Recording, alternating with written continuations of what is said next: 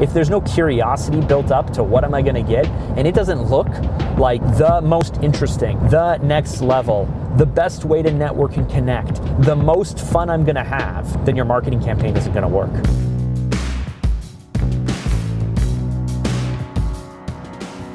How do you increase the attendance for an event? So, what a lot of event marketing really lacks is key insight into who you're targeting for the event and why they should care. It is a lot of effort and it's a lot of hard work to get people to get out of their daily routines, leave work for the day or leave work early, or to travel to come out to your event.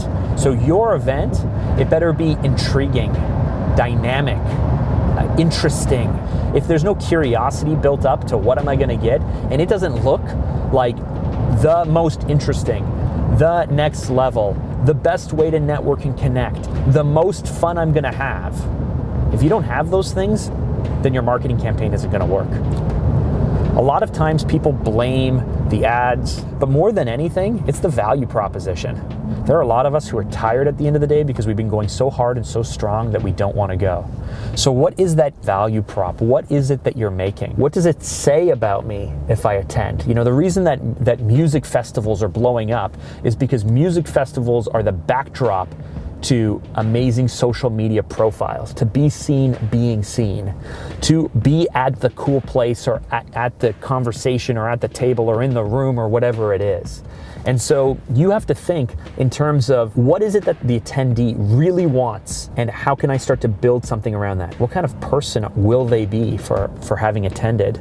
And then you need to take all of those things and just completely soak, wrap, uh, immerse everything you say all of your messaging, all of the feeling, all of the tone, your from everything you're doing on a marketing side to make people believe and feel those things will be promised upon, right? That that you understand what they really want. You understand what the promise is and you understand what it means to be represented there.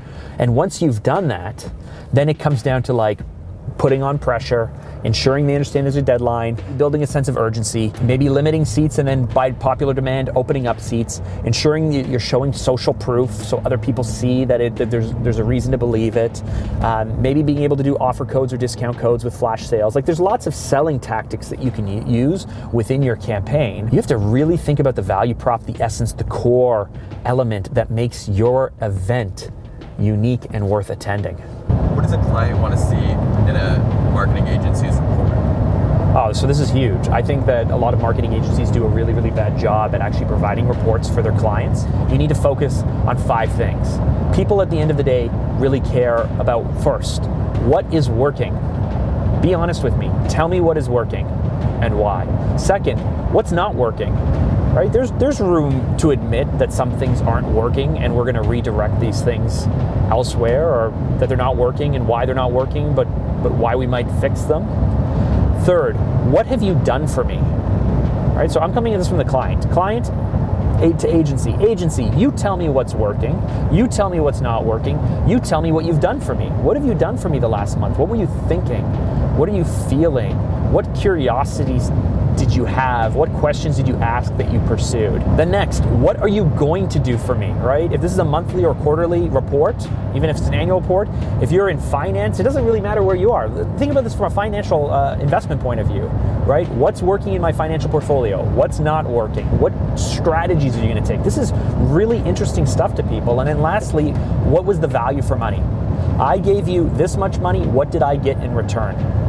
And so if you focus on those five things, you're going to be in more of a position of, of transparency, honesty, and partnership because you are focusing on what matters most to them. What's working?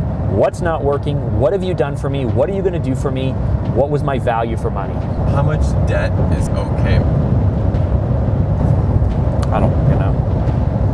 How do you know that? I mean, the answer is to be leveraged enough to be able to ensure that money is working for you and being used for you, but not not to be so leveraged that uh, a decision becomes catastrophic for you know a 10 or 20 or 30 year period for you. And it depends on your age. If you're younger, then you have more recovery time to kind of put the whole pot in and be able to take a big risk or a big gamble, and then you have years after that to be able to recover from it. But if you're older in life, people get a lot more hesitant because your window for recovery is so much shorter. Uh, but if you're older in life, you should have more assets that you could be able to leverage to be able to borrow against. So I don't know. It depends on your unique situation. Ultimately, uh, the answer is right for you based on your risk tolerance, the industry you're in, uh, what you have to leverage, um, your your potential runway for recovery, and then what you're comfortable with, like all of those things. What is a good CPM for social media? That's an interesting question because what you're basically the only reason that you would be asking for is to ensure that you're not underspending or overspending in your campaign. But here's the thing with your CPM it's channel dependent, geography dependent, target dependent, uh, what you're selling, and what your competition is doing in market and time of year. All of those things will affect your ad pricing. Uh, let's say you're targeting young men on Facebook because you First of all, there's fewer young men on Facebook. They're just not there. But if you're targeting them because you know that in your industry, those people will convert and those people will buy, and if all of your competition know that in your industry, those people are there because they convert and buy, your cost for placement, because it's an open marketplace, is going to be much, much higher and then you have to question whether it's worth it or not. If you're in, in targeting 45 year old females on Facebook, and you're just trying to do just high level awareness and you're kind of open geography and you're kind of loose on on who you're targeting and your competition just isn't there your costs are going to be much much lower because it's a supply and demand issue. The reason to be asking that question is because you want to know that you're not over or underspending. You want to have be able to have comparable data. Great. But now you need to be able to find and research comparable data in that marketplace. And the best way to get that data is to start and launch a campaign to be in market, to serve the same market for the same vertical with the same targets, to be able to get that predictable data and learn from it, or start a small pilot campaign and to test in market and then to be able to right size it and then optimize and test and optimize and test and optimize and test. If you can't find the data because it doesn't exist, you can't ask someone who's doing it because they won't give it to you, then go to market, test really small, and learn the information that you need before you blow it up. What is a good CPM for social media? I don't know. That is such a bizarre question. If growing and scaling your business by being better at sales and better at marketing, better at customer experience is important to you, be sure to check out this video right over here. And like always, subscribe to my channel, click on the bell icon, and get each video every day when it drops.